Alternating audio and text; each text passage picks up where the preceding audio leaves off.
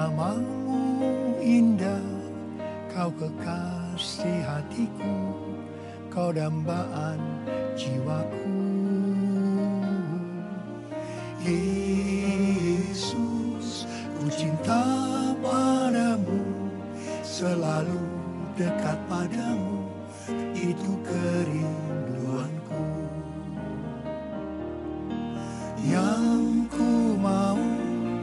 Hanya menyenangkanmu, biarlah seluruh hidupku berkenan kepadamu.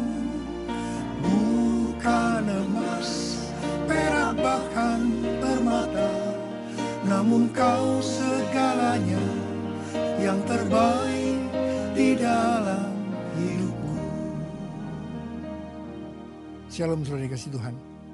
Kalau bulan April yang lalu kita memperingati Paskah, kematian dan kebangkitan Tuhan Yesus. Maka pada bulan Mei ini kita memperingati kenaikan Tuhan Yesus ke sorga dan pencurahan roh kudus pada hari raya Pentakosta. Alkitab berkata, Yesus mati karena dosa-dosa kita. Dia dikuburkan, tapi pada hari yang ketiga, Tuhan Yesus bangkit dari kematian. Setelah itu selama 40 hari berulang-ulang Tuhan Yesus menampakkan dirinya kepada lebih daripada 500 murid-muridnya. Dengan maksud yang pertama, untuk membuktikan bahwa Tuhan Yesus hidup. Tapi hal yang kedua, Tuhan Yesus memang mengunjungi murid-muridnya yang pada waktu sempat tergoncang, frustasi berat akibat kematiannya. Tuhan Yesus menghibur, memulihkan mereka. Tuhan Yesus sangat mengasihi murid-muridnya. Saudara, Tuhan Yesus mengasihi juga saudara. Saya ingin katakan sesuatu pada saudara.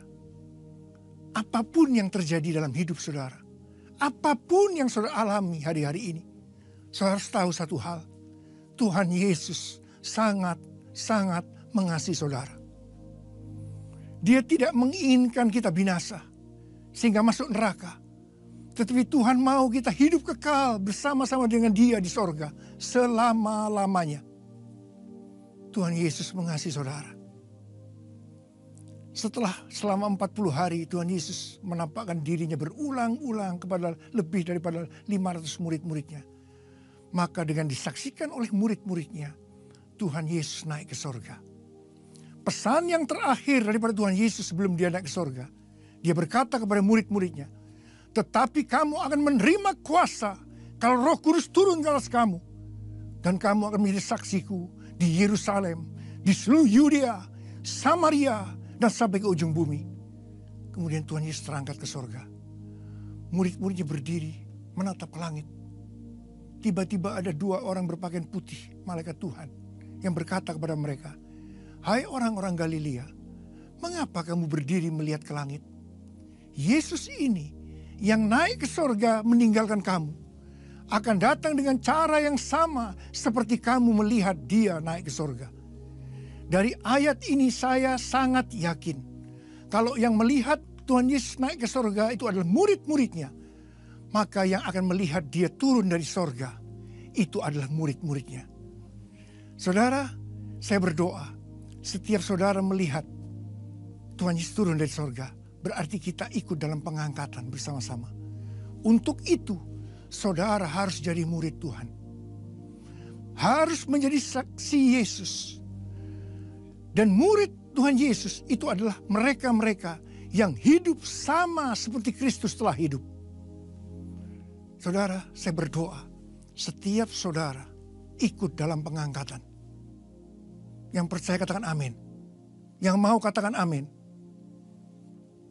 Setelah itu, setelah Tuhan Yesus naik ke sorga, murid-muridnya berkumpul di Yerusalem, di kamar loteng. Sebab Tuhan Yesus pernah berpesan kepada mereka, kamu tidak boleh meninggalkan kota Yerusalem sampai kamu diperlengkapi dengan kuasa dari tempat yang tinggi. 120 murid Tuhan Yesus, mereka berada di kamar loteng. Apa yang mereka lakukan? Mereka semua bertekun dengan sehati dalam doa bersama-sama mereka berdoa, memuji, menyembah Tuhan dalam unity siang dan malam. Itu yang mereka lakukan. Sepuluh hari setelah itu, pada waktu hari raya Pentakosta, tiba-tiba turunlah dari langit suatu bunyi seperti tiupan angin keras.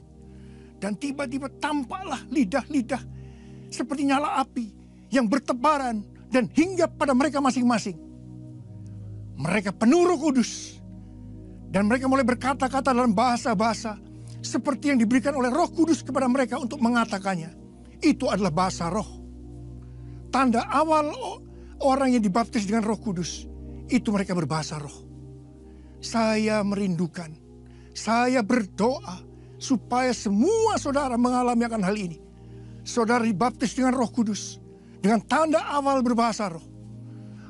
Kalau saudara merindukan untuk mengalami baptisan roh kudus. Karena saudara sekarang belum berbahasa roh. Saudara boleh angkat tangan. Saya mau berdoa buat saudara. Angkat tangan saudara. Oh ralama sikian ralama, ralama, ralama, ralama, ralama. Oh raba baba baba baba baba karena Tuhan, baptis anak-anakmu dengan roh kudus. Penuhi mereka dengan rohmu. Tuhan, terima. Terima. Terima. Terima. Tuhan, terima kasih. Terima kasih Tuhan. Terima kasih. Dalam nama Yesus. Dalam nama Yesus. Amin.